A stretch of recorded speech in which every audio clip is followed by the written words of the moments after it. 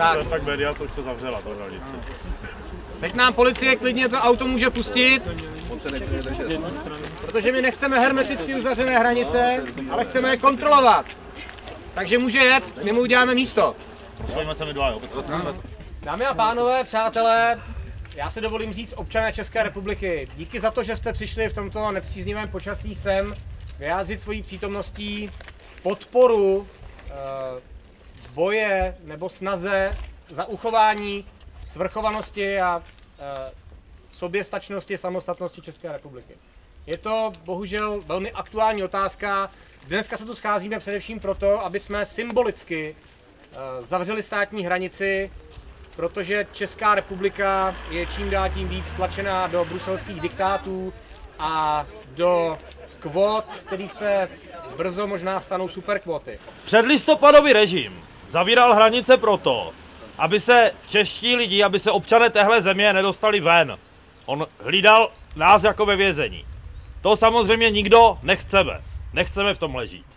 Druhá věc je, že dneska je Evropa pod tlakem islámské expanzní vlny, říká se tomu špatně a chybně migrační krize, a ve světě, kde přestala platit veškerá pravidla, je ochrana hranic před nelegálními přišelci, před těmi lidmi, kteří tady nemají co dělat, zkrátka a dobře jednou z povinností státu, který chrání svobody a práva svých občanů.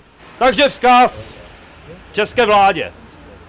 Začni střežit hranice, odmítni šílenou bruselskou asilovou politiku a chovej se prostě jako vláda svých občanů.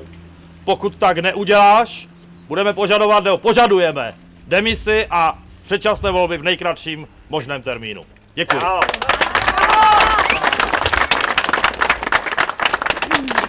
Já teď bych poprosil poslance Marka Černocha, aby... Dámy a pánové, já bych vás chtěl také pozdravit, poděkovat za to, že jste přišli. Vlídné, nevlídné počasí, dneska je to asi jedno, protože musíme střežit bezpečnost českých občanů za jakéhokoliv počasí.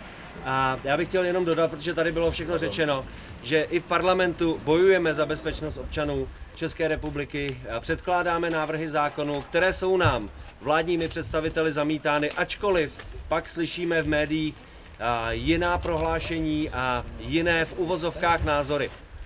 Zemský ráj,